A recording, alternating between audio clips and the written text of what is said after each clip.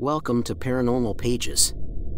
Let's get straight into the true scary stories. Whispers in the walls. It started as a soft murmur, like the distant hum of a radio left on in another room. I first noticed it when I moved into the old house, a Victorian relic nestled in the shadow of a dense forest. The estate agent had given me a knowing smile, the kind that said, You won't last long here. But I shrugged it off. The house was perfect for me, spacious, secluded, and, best of all, cheap. I was a writer, and the solitude promised by the creaking wooden floors and dusty, forgotten corners seemed ideal for my craft. The first night, I barely slept. The walls groaned as the house settled, the wind howled through the cracks in the windows, and those whispers, faint, barely audible, seeped through the plaster.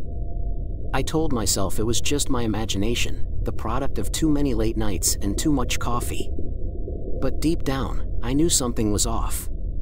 There was a strange weight to the air, a heaviness that pressed down on me as I lay in bed, staring at the shadows dancing across the ceiling. Days turned into weeks, and the whispers grew louder. I would hear them when I sat at my desk, trying to write, or when I was making dinner in the small, outdated kitchen. They seemed to follow me, weaving through the air like smoke, curling into my ears, and settling into my mind. Sometimes, I could almost make out words, disjointed phrases that evaporated as soon as I tried to focus on them. I convinced myself it was the house's age, the way old wood and plaster tend to creak and settle, and nothing more. But the whispers persisted, a constant, unsettling background noise that gnawed at the edges of my sanity. One evening, as the sun dipped below the horizon, casting long, twisted shadows through the tall windows, I heard something different. The whispers weren't just random noises anymore, they were coherent, forming sentences, stringing together thoughts that weren't my own. The door, they said, it's open. I froze, the hair on the back of my neck standing up. My heart pounded in my chest as I slowly turned to look at the front door. It was ajar, swinging slightly on its hinges, though I was certain I had locked it. A chill ran down my spine, and I slammed the door shut, locking it again with trembling hands. That night, sleep was impossible. I lay in bed, every creak and groan of the house amplified in the silence. The whispers had grown bolder, their voices clear and almost conversational. They spoke of things I couldn't comprehend, of dark places, forgotten rituals, and names that sent shivers through me. I tried to block them out, covering my ears with a pillow, but it was no use. The voices had found their way inside my head, and they weren't leaving. And then, just as I was about to slip into a fitful sleep, they said something that chilled me to the bone. Tomorrow, you will find the truth in the cellar. My eyes snapped open, my breath caught in my throat. The cellar. I had never been down there, hadn't even thought to explore it. But now, the idea of it consumed me, filling me with a dread so deep it felt as though it would swallow me whole. What truth could the voices be hinting at? What was waiting for me in the dark, damp cellar of this cursed house? Hey! Subscribe for more true scary stories. The following morning, I awoke with a sense of foreboding that clung to me like a second skin. The voices had been silent since their cryptic message, but their absence was more unnerving than their presence. I could feel the weight of their unspoken words pressing down on me, driving me to confront whatever lay beneath this house. Despite the gnawing fear in my gut, I knew I had to go to the cellar. It was as if the house itself was pushing me toward that dark, unknown place. The cellar door was located in the kitchen, a small, unassuming hatch in the floor that I had hardly noticed before. As I approached it, my heart pounded in my ears, drowning out the silence that had settled over the house. The whispers had not returned, but the atmosphere was thick with tension, as though the very walls were holding their breath. With trembling hands, I reached for the iron ring embedded in the wood and pulled. The hatch creaked open, releasing a rush of stale, cold air that smelled of damp earth and decay.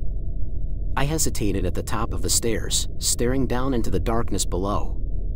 The steps were old, worn smooth by years of use, but now they looked treacherous, leading down into an abyss from which I might not return. But the voices had promised truth, and despite my terror, I couldn't ignore the pull of curiosity.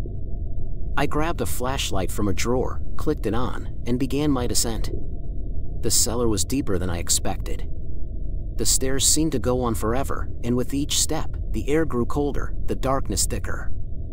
My flashlight flickered, casting long shadows that twisted and writhed like living things. When I finally reached the bottom, I found myself in a large, stone-walled chamber that stretched beyond the beam of my light.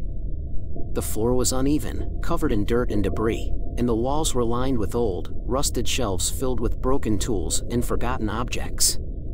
But it was the oppressive silence that unnerved me the most, complete and unnatural, as though the cellar existed outside the bounds of the world above.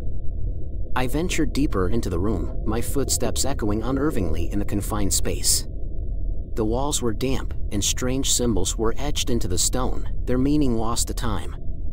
They looked ancient, older than the house itself, and as I traced them with my fingers, a wave of nausea washed over me.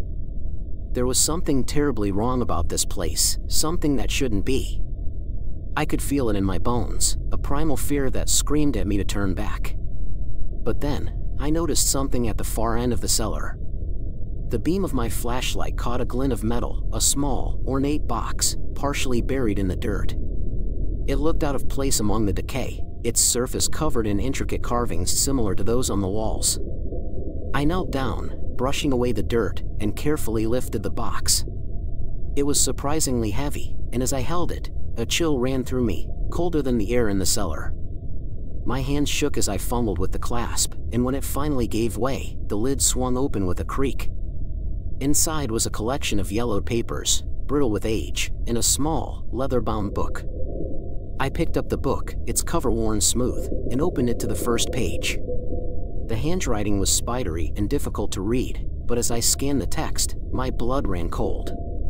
It was a journal detailing rituals and incantations, dark magic meant to summon and bind forces beyond comprehension. The final entry was dated over a century ago, and it ended with a chilling phrase, the voices demand a sacrifice, and in return, they shall reveal the future. As I read those words, the whispers returned, louder and more insistent than ever. They echoed in my mind, a cacophony of demands and promises, each one more terrifying than the last. My vision blurred, and the cellar seemed to spin around me. I dropped the journal and staggered back, the whispers growing louder, drowning out all reason. Blood, they hissed. Blood will set us free. I bolted for the stairs, my heart pounding in my chest, the whispers chasing me as I fled. I didn't stop running until I was back in the kitchen, slamming the hatch shut behind me. But even then, I knew it was too late. The voices had been released, and now they were everywhere, filling the house with their relentless, maddening chatter. And as I stood there, gasping for breath, I realized with a sickening dread that they were no longer just predicting the future, they were controlling it the house had changed. I could feel at the moment I emerged from the cellar, a palpable shift in the atmosphere. The walls seemed to close in around me, the air thick with an oppressive weight that made it hard to breathe. The whispers, once confined to the background, now permeated every inch of the house, seeping through the walls like a foul miasma. They were no longer content to remain on the edge of my consciousness. They wanted to be heard, demanded it. I tried to leave, I packed a bag, grabbed my keys, and headed for the door. But as I reached for the handle, the whispers surged, a chorus of voices screaming in unison. The door slammed shut with a force that rattled the windows, the locks clicking into place on their own. Panic gripped me as I pulled at the door, but it wouldn't budge. It was as though the house itself had decided I wasn't allowed to leave. Let me out. I shouted, banging my fists against the wood but the only response was a mocking laughter, a cruel, echoing sound that reverberated through the walls. The whispers taunted me, promising escape if I did as they asked, if I made the necessary sacrifice. But I refused to listen, refused to be a pawn in whatever twisted game this house was playing. In desperation, I ran to the windows, but they, too, had sealed shut. The glass was cold to the touch, unyielding under my frantic attempts to break it. I was trapped, and the realization struck me like a blow to the chest. The house had become a prison, the whispers my jailers. And somewhere deep within, I knew that they wouldn't let me go until I had fulfilled their demands. Hours passed, or perhaps days, time had lost all meaning. I wandered through the house, a hollow shell of myself, the whispers gnawing at my sanity.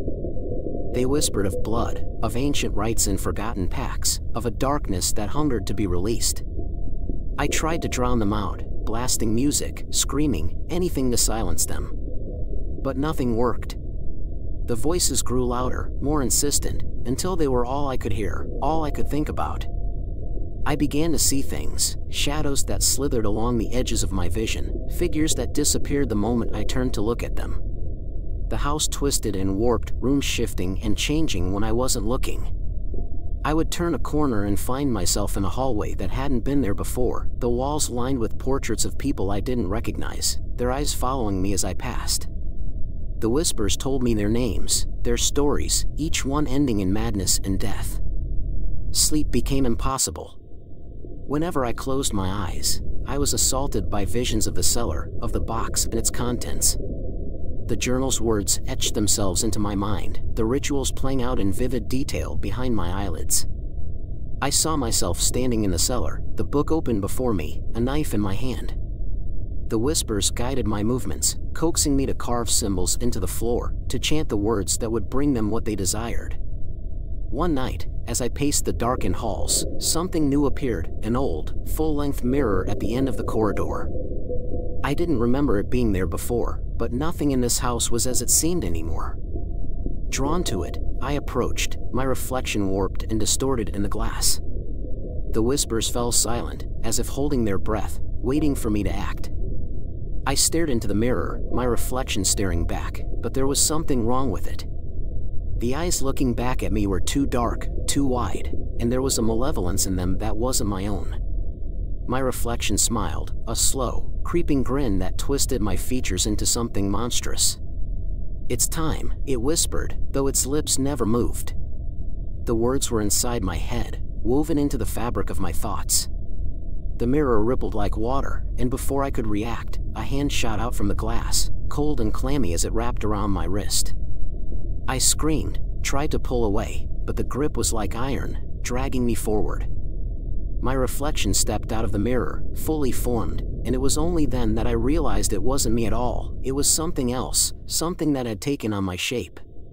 It leaned in close, its breath icy against my skin, and whispered in my ear, You can't fight us. We are part of you now. Embrace it, and the pain will stop. I struggled, but the more I fought, the tighter its grip became. I could feel the coldness seeping into me, numbing my limbs, clouding my thoughts. The house seemed to close in around me, the walls warping and twisting, the whispers merging into a single, unbearable shriek. And then, just as I felt myself slipping away, it released me. I stumbled back, gasping for breath, my heart pounding in my chest. The reflection was gone, the mirror shattered on the floor, shards of glass glinting like teeth in the dim light. But the whispers remained, a constant, maddening buzz in the back of my mind, growing louder with each passing moment. I was unraveling. The house had taken something from me, my reflection, my sanity, I wasn't sure what. The whispers had embedded themselves deep into my mind, twisting my thoughts until I could no longer tell where they ended, and I began. Every attempt to resist only fed their power, and every hour spent in this accursed place sapped my will. The house had become an extension of them, and now, so had I. I avoided the mirror shards scattered across the floor, each one reflecting a different version of myself, each one more monstrous than the last. The whispers were louder than ever, no longer hiding in the shadows, but speaking directly to me, guiding me with a chilling intimacy that made my skin crawl. They had one message, repeated over and over, complete the ritual, and it will all end. In the back of my mind, I knew what they wanted. I knew what the cellar, the journal, and the voices all pointed to.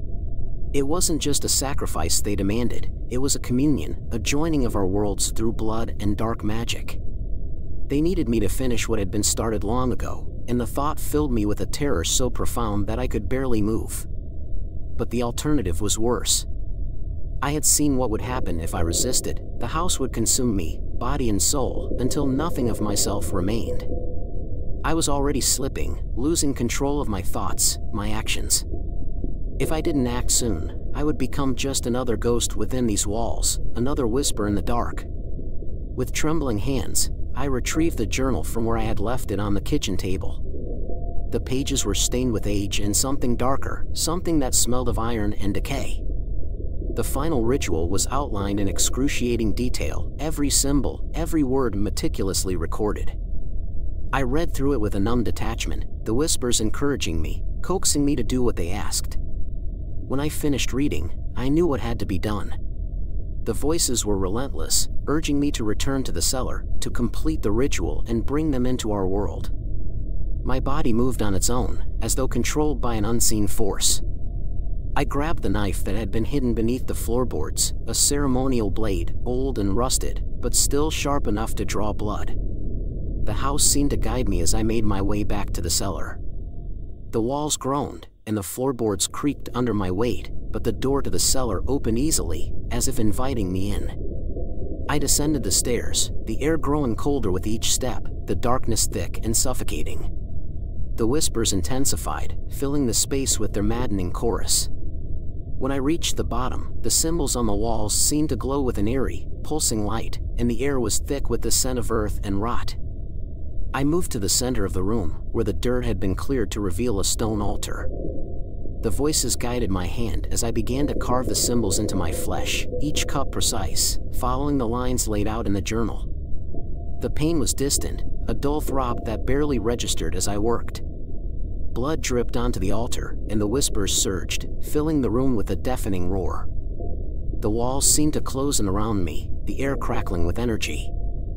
I began to chant the words from the journal, my voice trembling but growing stronger with each syllable. The symbols on the walls pulsed in time with the rhythm of my words, and I could feel the barrier between our world and theirs thinning, weakening. As I reached the final verse, the room erupted in a blinding flash of light. I was thrown back, the knife flying from my hand. The air was alive with energy, the ground beneath me trembling as the fabric of reality tore open. For a moment, I glimpsed something on the other side, dark, formless shapes moving in the void, eyes that burned with an unholy light. The voices were no longer whispers, they were screams, filling my mind with their terrible, ancient hunger. And then, just as quickly as it had begun, it was over. The light faded, the room falling into darkness once more. The whispers were gone, replaced by a silence so profound that it hurt my ears. I lay there, gasping for breath, my body trembling, my mind reeling. But I knew, deep down, that it wasn't over.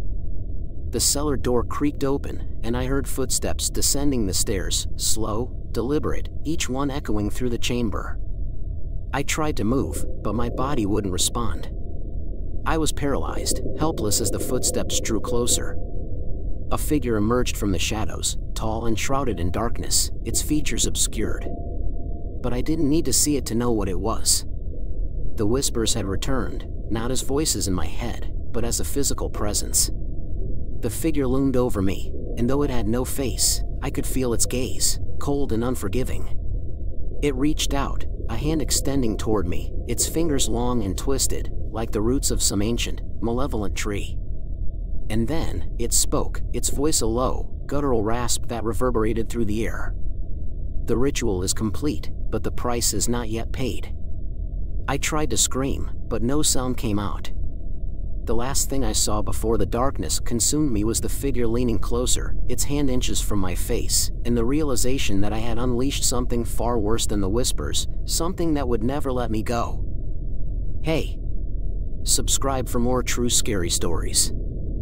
Story 2 The House of Silent Nights. The house was old, far older than I had first imagined. Standing alone at the end of a long, twisted road, it loomed over the countryside like a dark sentinel, its windows like empty eyes staring into the void. When I first saw it, I was drawn not by its decrepit exterior, but by the strange sense of comfort it exuded, like a long-lost memory that tugs at the edge of consciousness. It was the kind of house that called to you, whispered your name in the dead of night, made you believe it was meant for you and you alone. The previous owner, an elderly man named Mr. Caldwell, had died under mysterious circumstances. The townsfolk refused to speak of him beyond a vague murmur or quick glance over their shoulders. I didn't care. I was desperate for a fresh start, and this house was both affordable and isolated, just what I needed. When the realtor handed me the keys, she also gave me a small, yellowed envelope. These are the house rules, she said, her voice low and hushed, as if afraid the walls might overhear. You'll want to follow them. I chuckled at the absurdity of it. Rules for a house? What could possibly go wrong? But as I opened the envelope later that evening, the humor quickly drained away. The paper was old, brittle at the edges, and covered in a spidery script that looked ancient. The first rule jumped out at me immediately never look out the windows after midnight. Beneath that, a few other rules followed, equally bizarre, but less unnerving. I tossed the list aside, convincing myself that it was nothing more than an eccentric quirk of the late Mr. Caldwell. The first few nights were uneventful, though the house was far from quiet. It creaked and groaned in the wind, its wooden beams stretching like an old man shaking off the dust of centuries. But the rule about the windows gnawed at me, a seed of curiosity that grew with each passing night. Why would someone make such a strange demand? Was it superstition, or did it hide something far more sinister? On the fourth night, I woke to the sound of footsteps. They were light, almost imperceptible, but distinct enough to freeze the blood in my veins. They seemed to be coming from the hallway, just outside my bedroom door. I grabbed a flashlight, telling myself it was just the house settling, but the beam shook as I held it. Slowly, I opened the door and peered into the darkened hallway. Nothing. No one. But when I turned back, I saw it, the window at the end of the hall. The one rule I should have followed. Midnight had come and gone, and now the window was wide open, the curtains fluttering as if something, or someone, had just passed through. My breath caught in my throat as I moved closer, unable to resist the pull of the darkness beyond the glass. And then, as if in answer to my unspoken fears, I heard it, a faint whisper, a voice calling my name from the depths of the night. I knew I shouldn't, but the need to look was overwhelming, a force beyond reason. As I reached out, my fingers trembling, the whisper grew louder, more insistent, until it was a cacophony of voices, all screaming in a language I couldn't understand. And just as my hand touched the cold glass, I saw it, a face, twisted and hollow, staring back at me with eyes that had seen unspeakable horrors. I stumbled back, gasping, and slammed the window shut, drawing the curtains tight. The voices stopped, but the terror remained, clawing at the edges of my sanity. I could still feel that presence, lurking just beyond the glass, waiting for the next midnight. Sleep eluded me after that night. Every creak of the house felt like a prelude to something dreadful. The list of rules now sat on my bedside table, a constant reminder of my transgression. I stared at it in the morning light, fingers tracing the worn edges of the paper. The first rule had been clear, never look out the windows after midnight, and I had foolishly ignored it. The consequences had been immediate and terrifying. But what of the other rules? What more did this house have in store for me? The second rule was simple, yet chilling. Do not enter the basement after sunset. I had yet to venture down there. The basement door was locked, the key hanging on a rusty hook in the kitchen. It had seemed insignificant at first, but now, knowing the malevolence that lurked within these walls, it felt like a ticking bomb. What was down there that I wasn't supposed to see? The fear gnawed at me, growing stronger as the day progressed. By dusk, I could feel the house changing. The air grew thick, oppressive, as if the walls were closing in around me. I couldn't shake the sensation that I was being watched, followed by something unseen. I tried to distract myself, wandering from room to room, but the silence was heavy, pregnant with a dark promise. When the last rays of sunlight slipped below the horizon, I felt it, a pull, deep in my gut, leading me toward the basement door. My hand trembled as I picked up the key. The rational part of me screamed to leave it be, but curiosity, damned curiosity, pushed me forward. I had to know what lay beneath the floorboards, what the previous owner had hidden away. I unlocked the door, the hinges groaning in protest as I opened it. The smell hit me first, a musty odor mixed with something foul, something that made my stomach churn. The stairs creaked under my weight as I descended into the darkness. My flashlight barely cut through the thick gloom, revealing a clutter of old furniture, rotting wood, and shattered glass. But as I moved deeper into the basement, the clutter gave way to a clear path leading to a large, ornate chest in the center of the room. Its surface was carved with strange symbols, spirals, and faces that seemed to shift when you weren't looking directly at them. I knelt before the chest, my heart pounding in my ears. The lid was slightly ajar, as if beckoning me to look inside. I hesitated, remembering the faces I'd seen in the window, the voices that had haunted me since that night. But the pull was stronger, drawing me in like a moth to flame.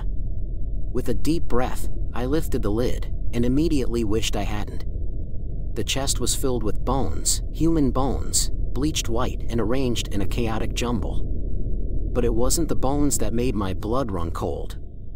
It was the skull, resting on top, its eye sockets filled with something red, glistening in the beam of my flashlight. The crimson substance dripped slowly, like thick blood, pooling at the bottom of the chest. I stumbled back, dropping the lid with a loud thud, and the room seemed to shudder in response. And then I heard it, a low growl, rising from the shadows around me. Something was down here, something angry, awakened by my intrusion. I spun around, the flashlight flickering as the growl grew louder, closer. The shadows moved, coalescing into a shape, a hulking figure with glowing red eyes. It was massive, filling the narrow space, its breath hot on my face as it loomed over me.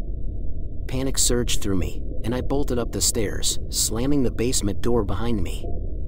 My hands shook as I fumbled with the key, locking it just as the door rattled violently. I could hear the creature on the other side, snarling, trying to break through. I backed away slowly, the rules now echoing in my mind like a warning. I had broken the second rule, and now the house was punishing me. The house had taken on a life of its own after the events in the basement. Every shadow seemed to crawl with unseen eyes, and the walls whispered secrets I wasn't meant to hear. I hadn't dared to return to the basement, leaving the chest and its gruesome contents locked away. But the knowledge of what I had seen gnawed at my sanity, twisting my thoughts like a knife in a wound.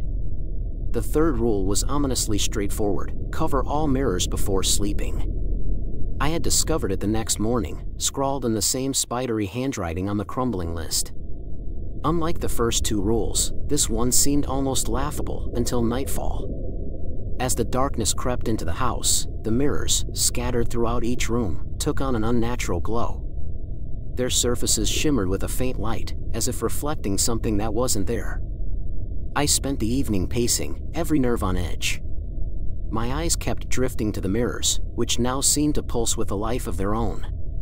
I considered covering them, following the rule as instructed, but a part of me resisted. What would happen if I didn't? What was it that Mr. Caldwell had feared so much that he felt the need to hide it from view? Unable to resist the pull of the unknown, I left the mirrors uncovered that night. As I lay in bed, sleep eluding me once more, the silence was deafening. Every creak of the house felt amplified, every gust of wind like a howl but it was the mirror across from my bed that held my attention, its surface reflecting only darkness until it didn't. I must have dozed off, because when I opened my eyes, the room was bathed in a pale, ethereal light. It wasn't coming from the moon, or any source I could see. Instead, it emanated from the mirror, which now glowed with a soft, inviting light. I sat up slowly, heart pounding, and stared into the glass. At first, I saw nothing but my own reflection, ghostly and pale. But then, the image shifted, the reflection of my room distorting and warping until it showed something else entirely. The reflection no longer matched the room around me. Instead, it showed a different place, a room similar to mine, but decayed and rotting. The walls were covered in black mold, the furniture splintered and broken. And in the center of it all stood a figure, a woman, her back turned to me. She was draped in a tattered gown, her hair long and tangled, obscuring her face. I couldn't look away. My body was frozen, paralyzed by the sheer wrongness of what I was seeing. The woman began to turn slowly, her movements jerky, unnatural, as if she were a puppet on strings. When she finally faced me, I gasped, a cold dread seizing my heart. Her face, or what was left of it, was a hollow shell, skin hanging in tatters, eyes dark voids that seemed to pull at my very soul. She moved closer to the mirror, and as she did, the room around me began to change. The walls darkened, the air grew thick with the stench of decay. I could feel the dampness creeping up the walls, could hear the floorboards rotting beneath my feet. It was as if the reflection was bleeding into reality, the boundary between the two worlds collapsing. The woman reached out, her hand pressing against the inside of the mirror, fingers splayed as if trying to break through. I watched in horror as cracks began to spiderweb across the glass, spreading outward from her hand. The mirror trembled violently, and I knew that if I didn't stop this, if I didn't break the connection, she would cross over into my world. In a blind panic, I lunged for the mirror, grabbing the sheet I had ignored earlier and throwing it over the glass. The light vanished instantly, the room snapping back to its normal state. I collapsed onto the floor, gasping for breath, my body drenched in sweat. The house was silent again, but the damage was done. I could feel it in the air, in the very bones of the house. I had broken the third rule, and now there was no going back. The end. Subscribe for more true scary stories. Thanks for watching.